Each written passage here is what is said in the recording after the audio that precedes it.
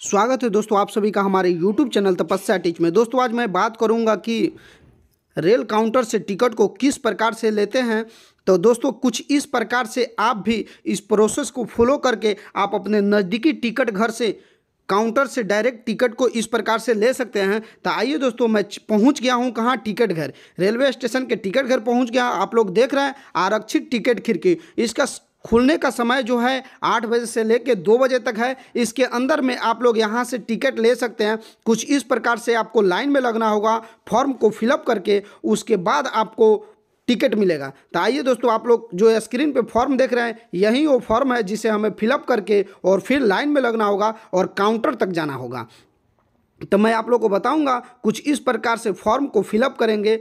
तो आप लोग देख रहे हैं, मुझे स्लीपर के लिए चाहिए तो मैं ऐसे लिख दिया। अगर जनरल के लिए चाहिए तो जनरल लिख देता। एसी के लिए चाहिए तो एसी लिख देता। है आप लोग देख रहे हैं, गाड़ी संख्या और गाड़ी के नाम तो उन्नीस ज़ीरो अड़तीस, उसके बाद यात्रा की तारीख इक्कीस पाँच दो हज़ार बाईस। आपका जो यात्रा का तारीख होगा, उसे आप लोग यहाँ पे फिलअप कर सकते हैं। उसके नीचे श्रेणी दिया हुआ यानी किस प्रकार का टिकट चाहिए तो मुझे स्लीपर चाहिए तो मैं स्लीपर लिख लिया। उसके बाद सीटों की संख्या, यानी कि कितने आदमी जाने वाले तो मेरा दोस्त है सिंगल जा रहा है तो एक लिख दिए, उसके बाद कहाँ से कहाँ तक जाना है तो मुझे सुगौली से सूरत तक जाना है, कुछ इस प्रकार से फिलअप कर लेते हैं। अगर आपको जहाँ से जहाँ तक जाना होगा, उसको फिलअप कर लीजिएगा, उसके जस्ट नीचे मोबाइल नंबर दिया हुआ है, कुछ इस प्रकार से मोबाइल नंबर को आप लोग फिलअप कर सकते हैं।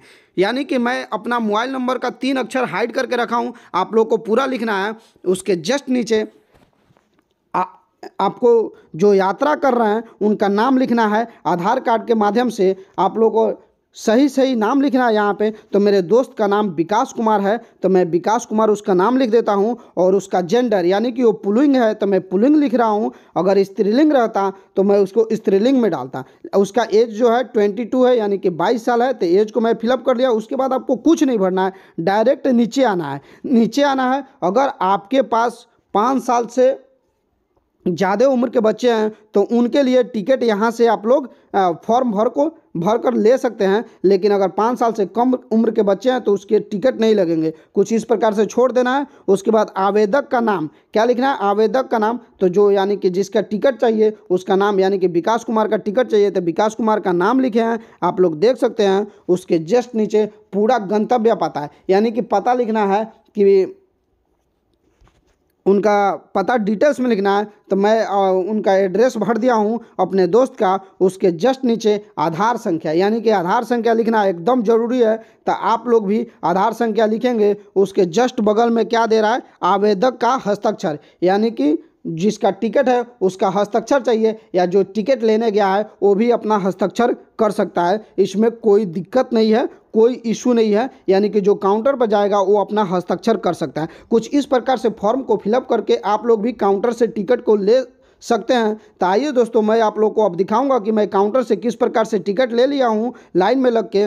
दोस्तों, बहुत धक्का मुक्की होती है, बहुत मेहनत लगता है काउंटर से टिकट लेने में। तो आप लोग भी कुछ इस प्रकार से इस नियम को फॉलो करके काउंटर से टिकट ले सकते हैं। तो देखिए दोस्तों, मैं आप लोगों को बारीकी से दिखा रहा हूँ कि मैं जो फॉर्म भरा था सेम वही है। सुगौली जंक्शन से सूरत जाना है। आप लोग देख रहे हैं, या गाड़ी संख्या भी देख सकते हैं तो यात्रा की तारीख देख सकते हैं। दोस्तों, मैं उम्मीद करता हूँ कि मेरी दी गई जानकारी आप लोगों को काफ़ी अच्छी लग रही है। अगर अच्छी लग रही है तो मेरे चैनल को सब्सक्राइब कीजिए, वीडियो को लाइक कीजिए, और वीडियो को अपने दोस्तों तक शेयर कीजिए। जय हिंद, जय भारत।